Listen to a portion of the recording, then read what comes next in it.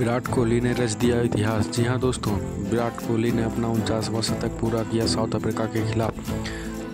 शतक लगाकर सचिन तेंदुलकर का रिकॉर्ड का बराबरी कर लिया विराट कोहली। विराट कोहली का आज अब जन्मदिन था और वो सबसे बड़ा बर्थडे गिफ्ट अपने आप को ही दिए विराट कोहली ने अपने जन्मदिन पर सब पहला सेंचुरी लगाकर सचिन तेंदुलकर का रिकॉर्ड का बराबरी किया। वनडे फॉर्मेट में उनचास शतक बनाने वाले दूसरे बल्लेबाज बन गए हैं विराट कोहली।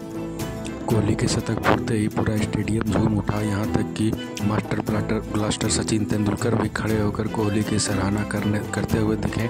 कोहली के साथ उनकी बेटी सारा तेंदुलकर भी मौजूद थी। दोस्तों, क्या लगता है शुभमन गिल कभी विराट कोहली के जैसा हो पाएँगे?